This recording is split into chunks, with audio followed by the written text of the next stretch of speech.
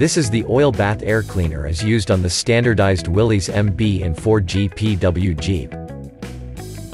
Let's have a look inside to see how it works. The interior consists of an inner and outer chamber with a cap on the bottom that acts as a reservoir for the oil.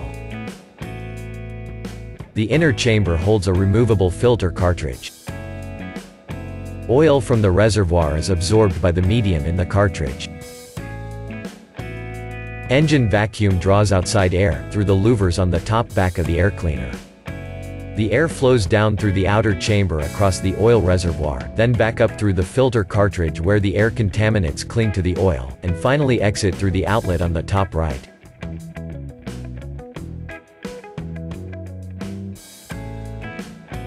An old but effective way to provide clean air for your Jeep engine. The only downside to this design is the mess that comes with replacing the dirty oil. Aftermarket adapters are available that replace the oil bath cartridge with a conventional dry filter. Just as effective but less mess to clean up.